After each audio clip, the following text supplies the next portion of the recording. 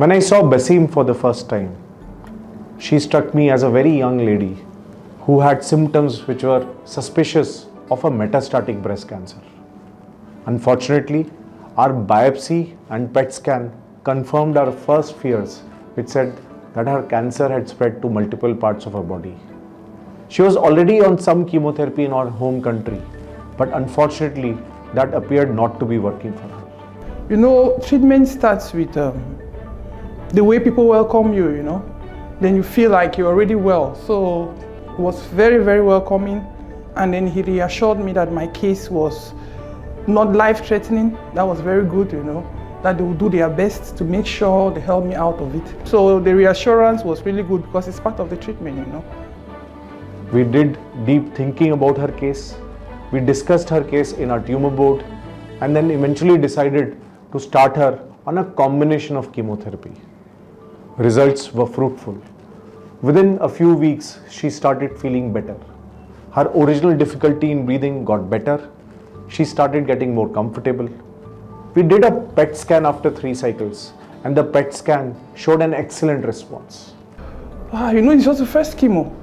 So I'm not going to say that I'm feeling like, yeah, so it's just the beginning, and I'm hopeful that it will be okay because I know at least they've reassured me. And from what I'm seeing they're doing is different from what they do in my country, you know. They're doing something different. So I'm just reassured. The chemo, you know, normally it's not, it's not an easy process. So it's very, very difficult, but I know it's for the good, you know. It's just one session I've had, but I'm very, very confident that it shall be okay. Bessem at this time continues her original treatment plan. We wish to give her six months of therapy, following which we'll do a re-evaluation and think further about her planned subsequent treatment.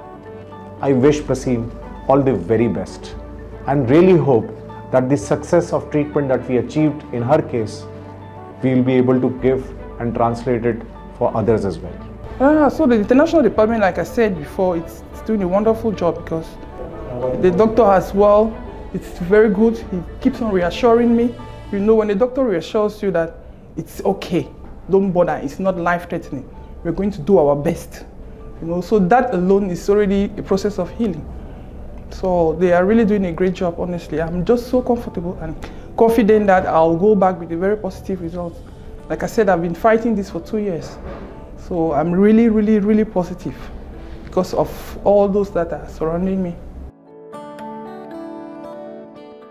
Subscribe to our YouTube channel and press the bell icon to get the latest healthcare updates.